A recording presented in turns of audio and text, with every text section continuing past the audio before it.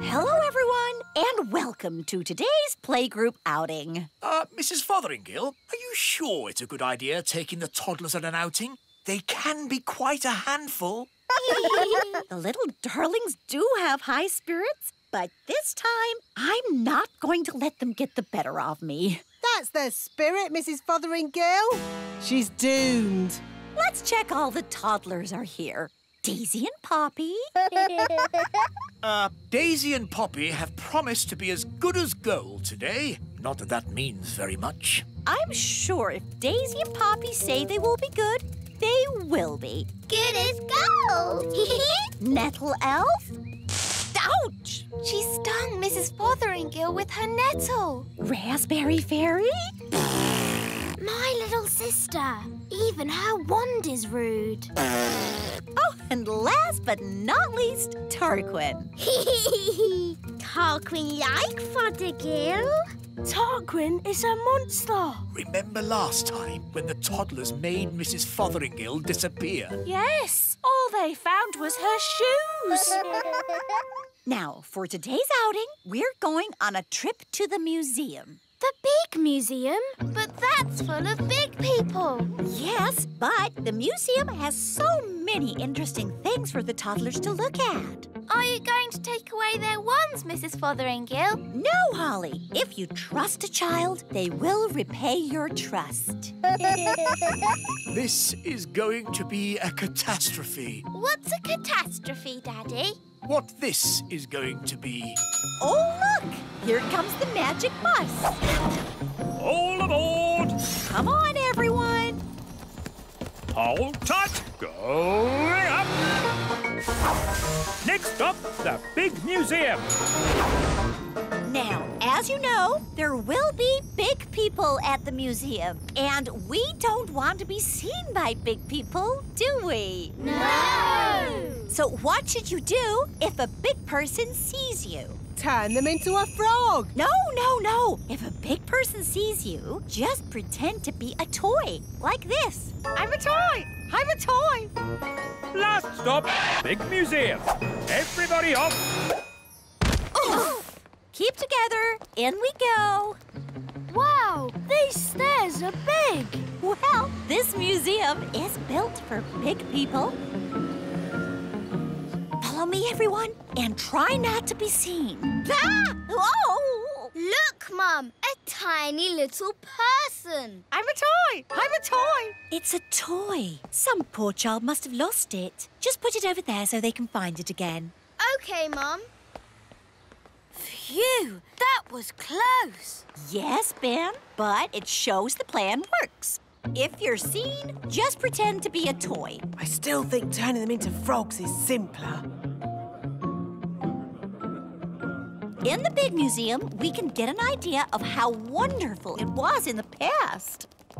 This first room is about the Stone Age. Ooh! A long time ago, the big people lived in caves. These are models of how the cave people must have looked. There's a button to press. Did the cave people have electric light bulbs? No, that's to show how the campfire would have looked when it was lit. Here's another button. they move. Ooh. You see, King Thistle? The toddlers are being as good as gold. Good as gold. it's actually going quite well. The toddlers haven't even made Mrs. Fotheringill disappear. Yet. Stone Age times. Close your eyes and imagine what it must have been like. I have always wanted to know what it would be like to live in the Stone Age. Abracadabra! Oh dear, I suppose it was never going to last. All they've left is her shoes. Daisy, Poppy, where have you sent Mrs. Fotheringill? Stone Age! They've sent Mrs. Fotheringill back to the Stone Age. That was a very naughty thing to do. Bring Mrs. Fotheringill back right now. okay. Oh! On second thoughts, you don't want to know what it was like to live in the Stone Age. Oh, my shoes! It's good to have them back. Right. Next room, ancient Egypt. Ooh. Look, here's a model showing how a pyramid was built. It's quite small. Were the ancient Egyptians the size of elves and fairies? No, the ancient Egyptians were big people, and the pyramids are huge. But they wouldn't be able to fit a full sized pyramid into the museum. Big. That's right, Daisy. Think how big a real pyramid would be. Here we go again. Use your imagination. Big. Righto. What's going on here? Big people are coming! What's in there? Everyone, pretend to be toys. And what are these little toys doing here? Hello. Uh, hello? Frog time. Well done, Tarquin. Like they always say, when things are not going quite right, turn them into a frog. That doesn't even rhyme. And turning people into frogs is not a good way to do things. Why not? He'll turn back to a person in a moment and he won't remember a thing. We better get out of here before he turns back again. Yes, on with the tour. Oh, my goodness, that was all a bit of an adventure. What we need now is something a little less dangerous. Next room, the Vikings. Less dangerous? Vikings? People think the Vikings just ran around shouting. But really, they were gentle people who farmed and played music. If only there were Vikings around today. I'd love to know what they'd say to us. She never learns. Abracadabra.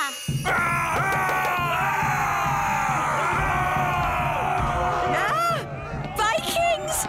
Running around and shouting!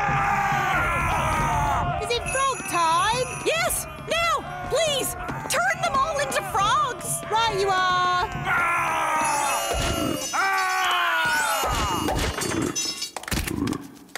I know an interesting fact about Vikings. All they ate was spam. I don't think that is correct. It's true. Vikings ate spam. It was on the telly. Uh, Nanny, what happens when the frogs turn back into Vikings? They'll be very confused and maybe a tiny bit annoyed. Right, let's make sure we're not around when that happens. Wow! Look at all those frogs! And what's this? Sorry about this, but I'm going to have to turn you all into frogs. Just for a bit. Eh? Frog time! Nanny, why are there still bangs going on in the other rooms? Well, it was going to happen at some point anyway, so I thought I'd save a bit of time and just turn the whole lot of them into frogs. All the big people in the museum? You've turned them all into frogs? That's right. I knew you'd be pleased. Oh, what happened? Where am I? It's the museum man. He's turned back to himself again. Yes, and he's confused and a little bit annoyed. No! All Vikings are turning back too. Right, I think this is as good a time as any to leave. Let's get out of here. All aboard! Keep together, children! Back on the bus! Next stop, the Little Kingdom. Last stop.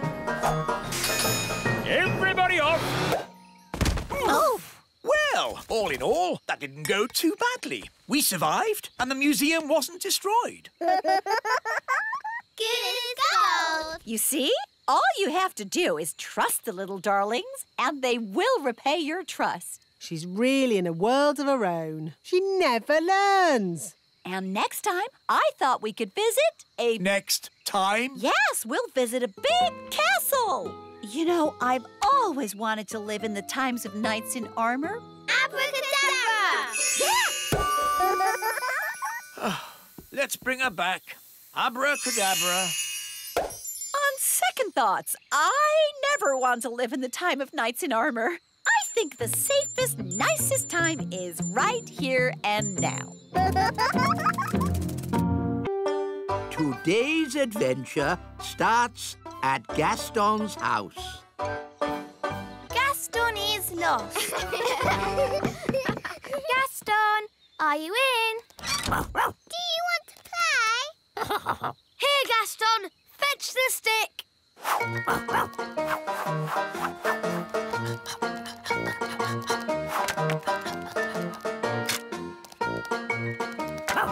Again?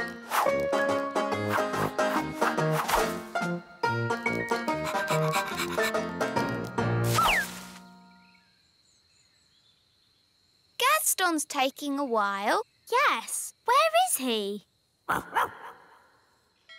Princess Holly! Home time! Oh, that's Nanny Plum. Ben! Home time! And that's my mum. Bye, everyone. See you tomorrow. Bye. Hi,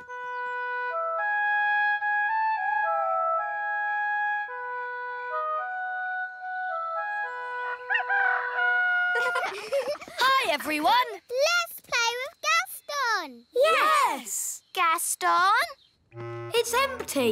Where is Gaston? Gaston? Gaston? Good morning, children. Has anyone seen Gaston today? No. Has anyone seen Gaston? No. Has anyone seen the ladybug? No. Gaston is lost. Dum dee doo. Dee dee. Have you seen Gaston? Gaston? No. Come to think of it, I haven't seen him at all today. He usually comes in for his breakfast first thing in the morning, but he hasn't touched his food. Gaston is lost. Don't worry, Holly. We can find Gaston by looking in a crystal ball. Let's use this one. It's a snow globe. With a little Eiffel Tower inside. Yes, pretty, isn't it? There you go. Paris in the snow. It's almost like you're there. But how can a snow globe find Gaston? Ah, that's where we need a little magic. The snow is clearing. Ooh. That's Gaston's house. There's Gaston. The crystal ball is showing us what Gaston did yesterday. And then we can work out where he is. Very clever, Nanny. Not just a pretty face, eh? Where's he going? That's me feeding Gaston yesterday. Good morning, Gaston. Here's your breakfast. Hungry boy. Where would you be without me to feed you? Where's he going? He's at the fairy village. Morning, Gaston. That's my mum. Here's your breakfast. Oh, oh. He's had two breakfasts. I thought it was just me who fed him. Bye, Gaston. He's off again. He's at the great elf tree. And that's the wise old elf. Ah, Gaston, I haven't forgotten you. Here's your breakfast. I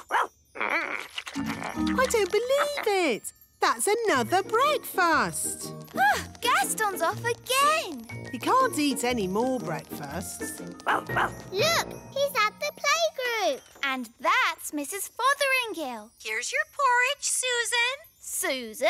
Good girl, Susan.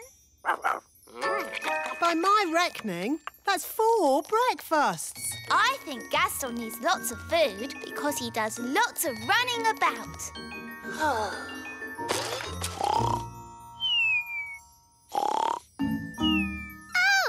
he's fallen asleep. I'm not surprised after all that eating.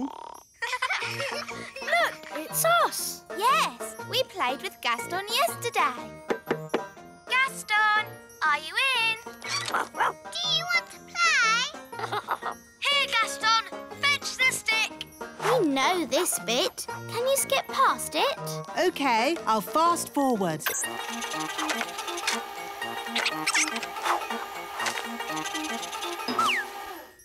Oh, Gaston has vanished. Let's watch that again. Stop. There he is. Forward a bit. Disappeared. Back a bit. Forward. Gone. He jumps behind those clovers and disappears. So that's where he must be. Come on, we have to find him. Let's get the others to help. Wise old elf! Wise old elf! Gaston needs rescuing. You found him? Not exactly, but we know where he was before he disappeared. This is where Gaston was last seen. And then he vanished behind some clovers. Which clovers? There are lots here. We'll have to search all of them. Gaston! Gaston! Where are you, Gaston? This is crazy. How can anyone just disappear into thin air? Ah! Oh, where's my mum gone? Help! Help! Mum, where are you? Here. I can't see you. Are you invisible? No! Look down! Gosh, a hole in the ground. I can't see a thing. Wand, give me light. It's a huge cave. Ooh! It's full of sparkly diamonds and gems. Ah, looks like we've found a bit of the old dwarf mine. Yes, the little kingdom is riddled with dwarf tunnels. Those dwarfs certainly like to dig. Help! Help! Mum! Hello, everyone. I found Gaston. Gaston! Come on, everyone. We've got a ladybird to rescue. Uh, what about me? Oh, yes. Sorry, Mum. I forgot about you. Charming. Let's climb down. It's a good thing I brought the elf rescue rope. Here we come. Whee! Whee! Gaston! Gaston must be so hungry. Oh. I can hear voices. Someone's coming. Hide, everyone. In a dwarf mine, oh so old, we dig for diamonds, we dig for gold. It's the dwarves. Dinner time! Good boy. When you finish that, there's pudding. I don't believe it. Gaston's only been here a day and he's already got people feeding him. Right, lads, back to work. Dig, dig, dig, dig, dig, dig.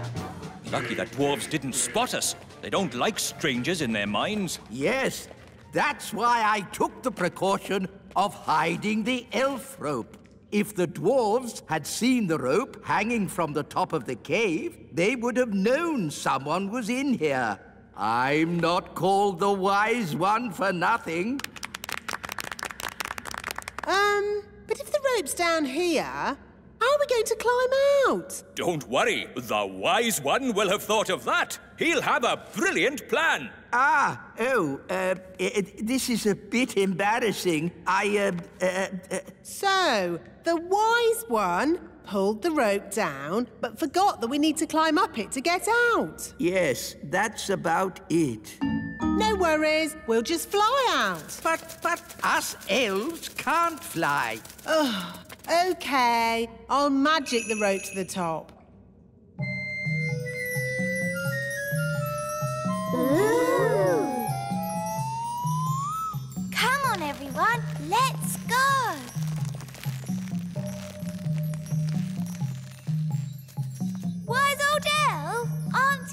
Climbing up? I am not climbing up a magic rope. See yourself. You can live down there forever. Okay, okay. I'll climb up the magic rope. Hello, everyone. Oh, hello, Mrs. Fotheringill.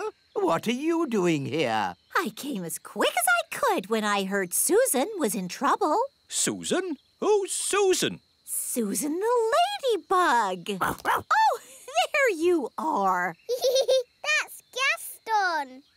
He won't answer if you call him Susan. Susan, I've brought you something to eat. Poor Susan. Who would look after you if I didn't? Hmm? I've got a feeling Susan would manage just fine.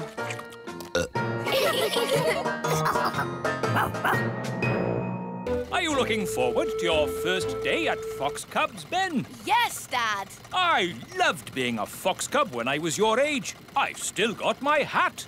In my day, it was Old Grey Wolf in charge. They've got a new leader now. I wonder who it is. Welcome to Fox Cubs, everybody. I'm the new leader. Hello, Nanny Plum. Don't call me Nanny Plum. I'm Fluffy Owl, to wit to woo. Hello, Fluffy Owl. To wit, to woo. Hi, Holly. Hi, Ben. Hello, Nanny Plum. What are you doing here? I'm the new Fox Cub leader. You have to call me Fluffy Owl, to wit to woo. Oh, hello, Fluffy Owl. You have to say the to wit to woo bit as well. Tawit Tawoo. You're just in time for the badges. Oh, is someone getting a badge? Ben, you're going to have so much fun getting your badges. Dad, what badges did you get when you were a fox cub? I got an adventure badge, a sailing badge, and a knots badge. A knots badge? Yes, after days and days of tying knot after knot, I finally got my knots badge. It was hard work, but worth it. Who wants a badge? Eh? Everyone step forward and tell me what badge you'd like. You first, Rosie. Can I have an adventure badge, please? One adventure badge. But, but, Can I have a sailing badge? Of course. One sailing badge. Strawberry, what would you like? A knots badge, please. Here you go. stop it! Stop it at once! You don't just hand out badges. Why not? You have to earn your badges. To get my adventure badge, I had to spend three days camping in the wild. Well, I watched a whole night of TV for my watching TV badge. Watching TV badge? That's not what the Fox Cubs are about. The Fox Cubs are about having adventures in the wild. Adventures do sound like fun. We like adventures. Mr. Elf, can we have an adventure in the wild? Well, it's not up to me. It's up to Fluffy Owl. Oh, very well. Follow me, everyone. OK, here we are, having an adventure. What do we do? Well, imagine we had to look for food. How do we find food here? Fluffy Owl, why don't you show the children how to find food in the wild? All right, this way, everyone. Now they'll see. It's not easy to find food in the wild. Hiya, we found food. Ice cream! Ice cream? Yes, from the ice cream van over there. But that's cheating. Look, you said find some food, so we did. Now you're changing the rules. We got you a raspberry ripple, Mr. Elf. OK, moving on from finding food. Does anybody know how to make a shelter? Oh, me, me. I brought my tent. Watch this. There we go. It's got five bedrooms, a bathroom, a television, and even a cellar. Oh, it's amazing! The best tent in the world. We can't sleep in that. Why not? What's wrong with being comfortable when you're on holiday? This is an adventure, not a holiday. We'll make a shelter out of two twigs and a leaf. You lean the twigs up like this, and hey presto, what have you got? Two twigs and a leaf. Where's the bed? You sleep on the ground. It's nature's bed. Lovely and cosy. Well, why bother when you can sleep in my castle tent? You're missing the point. Do you Fox Cubs want a real adventure? Yes! Good. If you're going to learn how to survive in the wild, you have to be in the wild. Like, uh, at the top of a mountain. What? Fluffy Owl, please magic us to the top of a mountain. Okay, abracadabra. At the top of a real mountain. Fantastic. Now, how are we going to get home? Easy. I'll magic is home. Let's say you don't have your wand with you. Okay, I'll call for help. No phone either. Hello, hello.